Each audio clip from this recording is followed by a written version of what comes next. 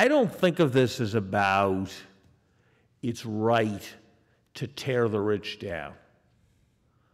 You know, if America had 50 more people like Steve Jobs, it would have 50 more multi billionaires, and somebody would discover that there was more inequality in America when they did the statistics.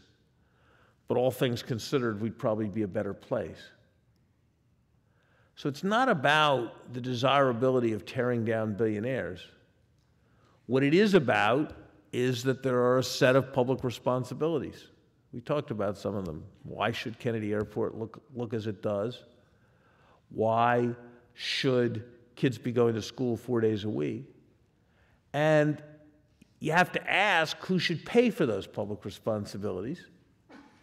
And it does seem like when those who are most fortunate are also those who've seen the biggest gains and are also those who've been most successful in working the political system to their benefit, it does seem like they ought to be part of the solution.